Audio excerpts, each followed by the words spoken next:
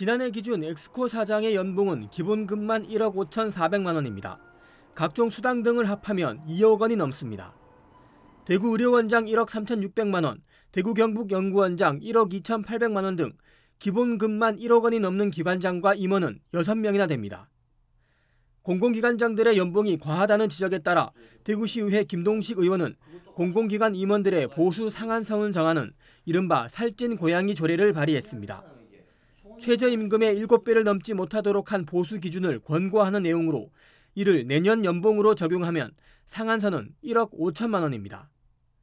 그런데 이 조례가 상임위에 상정도 되지 못한 채 보류됐습니다. 대구시의 반대 의견을 의회가 받아들였기 때문입니다. 단체장의 권한 침해라고 볼 수 있고 그거를 어떤 한계선을 만들어 놓으면은 그 이제 훌륭한 인재를 이제 등용하는데 많은 애로사항이 있을 수도 있고 또 그거는 한 가지만 보는 게 아니고 그 운영 평가라든지 이런 여러 가지를 종합해서 그 단체장이 이제 결정할 수 있는 일을 굳이 뭐 조례까지 만들어 가지고 조례를 대표 발의한 의원은 상임위에서 심사조차 하지 못하게 하는 건 말도 안 된다며 강하게 반발했습니다. 정해 놓아라가 아니라 권고한다는 거거든요.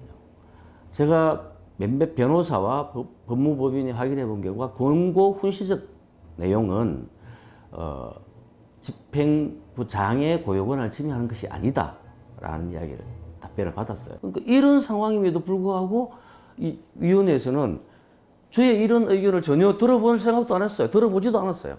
들을 기회도 주지 않았고 아니면 서류상으로라도 소명 기회를 하든지. 현재 공공기관 보수 제한 조례는 부산과 경기도에서 이미 시행 중이며 울산에서도 지난 9일 조례를 통과시켰습니다. 어, 시민들이 맡겨둔 의회가 그 공론의 장을 열지 못하는 그 역할을 제대로 하지 못한다는 비판을 피할 수 없고 또 그 살찐 고양이 조례가 가지고 있는 취지를 어, 시의회가 제대로 이해하고 있지 못하다는 비판도 피할 수 없습니다. 비판이 계속되자 대구시의회는 다음 달 열리는 임시회에서 이 조례를 다시 상정할지 여부를 검토할 예정입니다. 티브로드 뉴스 김민재입니다.